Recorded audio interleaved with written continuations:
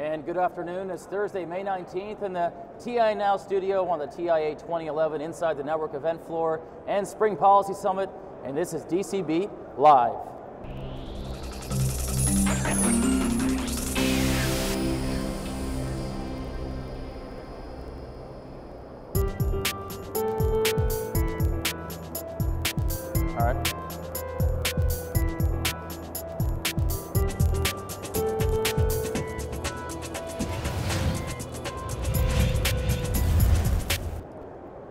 And as the demand for wireless devices increases, so does the demand for increased data traffic capacity.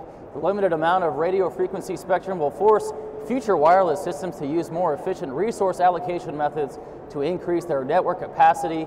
Our guests today will be able to reflect their unique perspectives on the spectrum shortage. You know, it's a multifaceted issue. On the industry side, there is clearly a need to utilize the resources, the spectrum resources in place now and, and in the pipeline more efficiently and effectively. Uh, companies like like mine, but you know others in industry as well, our, our, our, partners and competitors are all introducing solutions to to make spectrum, to make the technology behind the networks much more efficient. And you know, there's a lot a lot there in terms of you know multiple antennas, aggregating spectrum, uh, you know, going to small cell deployments to fill coverage gaps. Well, I, I, think regulators have a really difficult challenge. On the one hand, I think regulators are trying to be forward-looking. They're trying to anticipate where the market's going to go and, and to establish policies that really prepare the way for the future of mobile broadband.